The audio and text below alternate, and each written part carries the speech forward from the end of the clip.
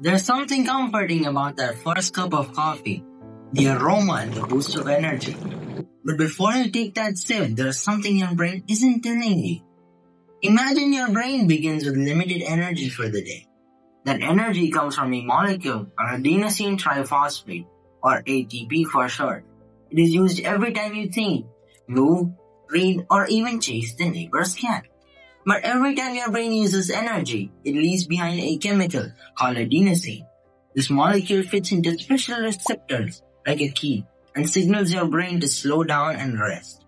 When caffeine enters the body, it binds to the receptors and doesn't release any signal, preventing adenosine from doing its job. Without adenosine, the brain doesn't realize it's tired. Your brain activity increases and your heart begins to beat faster.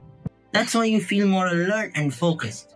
The brain keeps going and starts burning through energy faster than it should.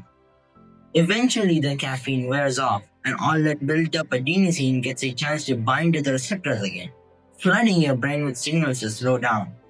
That's the wave of exhaustion that hits harder than your school assignments. And it doesn't stop there. Your brain adapts by building more adenosine receptors so caffeine can't block them again.